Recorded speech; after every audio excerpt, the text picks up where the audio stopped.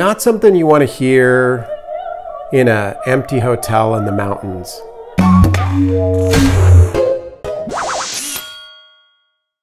Dalen again from Learn to Make, Make to Learn, and all of those great haunted, creepy sounds you just heard were coming from this. This is a Halloween prop that I created, and it's basically a haunted tombstone radio. So let's take a look at how I built it and what it does. The overall construction is half inch and quarter inch MDF. Now the nice thing about MDF is it's affordable, so you can make a lot of mistakes with it and not feel like you're breaking the bank. It machines or mills really well, and all of these parts are uh, cut on my tabletop three-axis uh, CNC router. It's dimensionally stable, so over time none of these parts should warp and it has a nice smooth surface for finishing. So you can paint it, you can apply veneers, uh, this vinyl applies very well, and you know, it works out really well without a lot of sanding, a lot of muss, a lot of fuss. The downside to MDF is it is uh, not exactly the strongest material.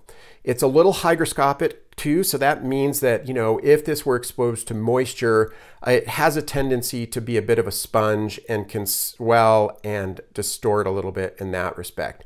These parts are pretty thin, and so if uh, this took a pretty strong blow to one of these pieces right here, these would break pretty easily. These knobs and the bezels are all 3D printed and then just primed and spray painted with a hammer finish uh, bronze color. These are just standard regular old LEDs. The knobs are really just for show with the exception of the center knob, which is the power switch, and it's just connected to a rotary switch in the back. This little domed part is uh, from a clear Christmas ornament, the kind that you get for crafts at the local hobby stores. And then in back, the dial is uh, a found piece of artwork online from an old radio, and then some clock hands and a little acorn nut for the dial. Around the dial on the inside are four candle LEDs, the kind that randomly flicker and have a nice yellow glow to them to give a sort of a flickering um, effect for the lighted dial. Now, one of the things I could have done is attach the hands to a gear motor or maybe a stepper motor and then controlled that so it looked like it was tuning itself. There is a tuning track uh, as part of the audio files that is sort of scanning up and down uh, stations. It's probably something that would have been a lot of effort for a reasonably little payoff because I don't think anybody really would have noticed it. People aren't getting right up on this thing and looking at it. Now, if this were a prop that was used in some sort of a setting where people were going to be right up on it, that might be something worth considering. The fabric is just regular uh, upholstery fabric that I found at a craft store that looked sort of like speaker grill fabric. You can actually find reproduction speaker grill fabric online, but that again felt like a little bit of overkill for this project. This is not by any means a reproduction of a tombstone or cathedral radio. And so, you know, in the spirit of is more than enough that's really the front of it. So what I'm going to do now is I'm going to spin it around and we'll take a look at the back and, and start to get into the guts of the thing. So there's not a lot to look at on the back. It's enclosed with this panel and really the only thing of note is this particular cutout. It's there for a purpose and it's not there for heat dissipation or sound, what it's there for is uh, to play a part in the overall effect that this uh, prop has. Inside, which we'll look at in a minute, are a couple of bright white LEDs. And there is a audio track on the sound effects board that is the sound of shorting electricity.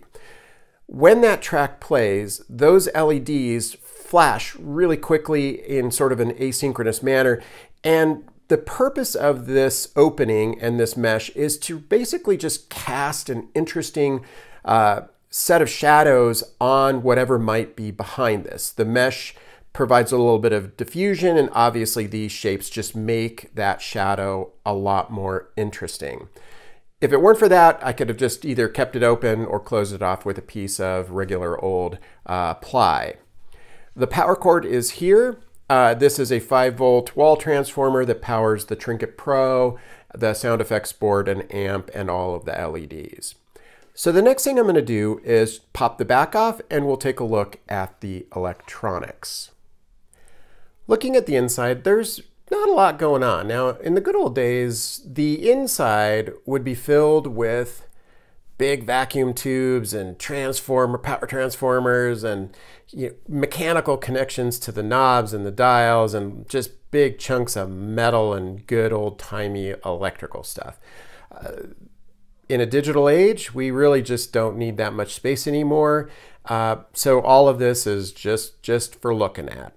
You can see a little bit more of the construction. We've got half inch uh, CNC cut MDF that forms the framework. It's uh, separated by a, you know some little uh, cross braces, and then the whole thing is wrapped in a couple of layers of mapboard.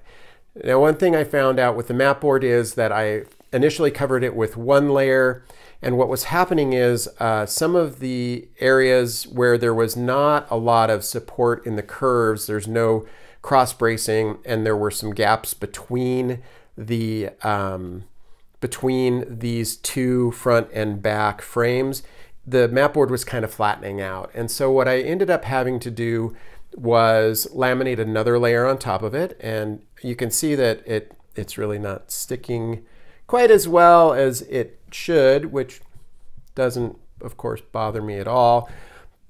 Uh, you know, the lesson there is that uh, A, I should either learn to glue mapboard together more effectively, or I could just use a heavier weight material. And so probably something like a heavyweight tag board would work really well.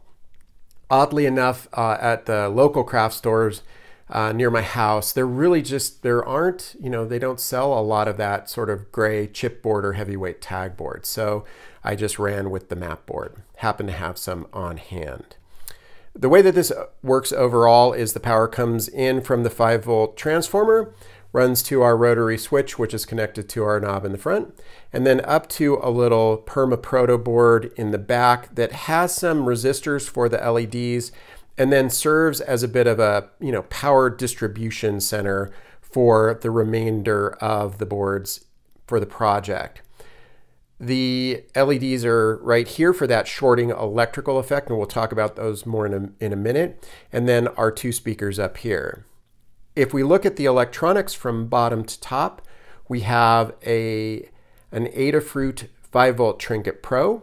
We have an Adafruit sound effects board and a little amp, audio amp for that the sound effects board drives to our speakers. One thing to note, these sound FX boards come in a, a pretty good variety of flavors, and one of those actually has amplification on board. So if I wanted to simplify this down to just a couple of boards, I could have uh, used that one and eliminated the amp. All of the wiring is basically header and jumpers. And the reason I like to use the header pins and jumpers is a lot of times I may want to either reconfigure a project or the project may actually seem like it's working and then it suddenly is not working and I need to figure out what I need to change. Or I want to cannibalize parts for another project. And so this allows me to really quickly just yank all of this wiring just right out take the boards out and go and put them into something else, which is a lot harder to do if you solder directly to the boards. A little bit more work, but you know, gives you more flexibility down the line. Now, back to the LEDs. So one of the main effects of this, besides the creepy, haunty, weird, warbly tunes, is uh, this flickering LED sh electrical shorting. Now, the reason that these LEDs are separated by distance and they're kind of bent at slightly different angles is not that I can't manage to get these things pointed in the right directions or put close together. It's so that they actually cast light in a slightly different direction and spaced differently than if they were just together or if it was just a single LED. So the idea is that by having two separated and different places, one low, one high, remember that that opening is right up here. So I've got light kind of coming up through and kind of coming straight back through. I'm casting shadows a little bit differently on the wall through that, that opening. And it just gives it a little bit more depth, a little bit more life. When I show you how these flicker and flash, you'll see that they're actually randomly flashing and not in, they're asynchronous. They're not flashing at the same time in the same way. So you're getting a, a, sort of a play of light through that opening in the back. And I think it just gives it a little bit more depth. So the next thing I'm going to do is I'm going to try and see if we can cycle through uh, to get to that static or that shorting track. Now, the way that the code is set up, once it starts to play the audio files, it will randomly select tracks. And so I may have to cycle it a couple times to get to the shorting track. It's also set so that it remembers what it played prior to the current track and so it will never play the same track again once it's up and running. Now, obviously, as I'm cycling it, it could just play the same thing over and over and we might be here for a while. So what I'm gonna do is just gonna power on and off a few times and see if we can get to that, that particular um, effect. So the little red flashing light indicates that it's, oh, first try like that ever happens. So you could hear a little bit of that shorting audio file. It kicks right into its next audio track. And you could see that those lights were flashing, flickering in a sort of a, you know, random and uh, separate way. They weren't blinking at the same time. I'm going to turn this off. So that's really overall all there kind of is to it. Uh, the way that this works is once it powers on, we got lucky that time it actually hit that, that shorting track first. It will play one of several, um, I, I want to say there are about seven or eight, seven tracks on there. Play them randomly. When it's the electrical shorting track, it flickers and flashes the lights and then it plays through the remaining tracks, never playing the same two in a row. That's kind of it. Now, this is a, probably a bit overkill for just something that plays creepy tunes. Uh, you could actually just use something like this. This is just a small little MP3 player. Uh, I could have put all of my audio files on this and then a powered speaker, put it in there, closed it up, and hit play and be good to go.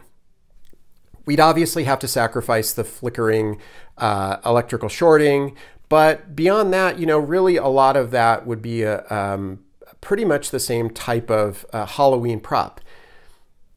For me, these projects really aren't about necessarily what the quick and easy way is to get to something that plays scary tunes. What this is really more about is learning how to take things like microcontrollers, connect them to a sound effects board, trigger those sounds in an intentional way, and then potentially when something happens, do something else intentional, like flicker LEDs.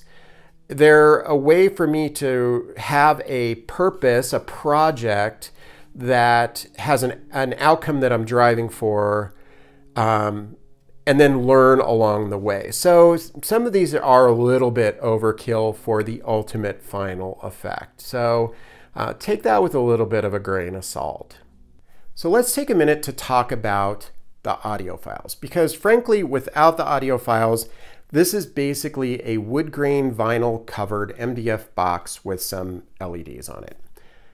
With a couple exceptions, I found all of the audio files I needed on archive.org. And archive.org is one of those sites you could lose the better part of a day searching around in.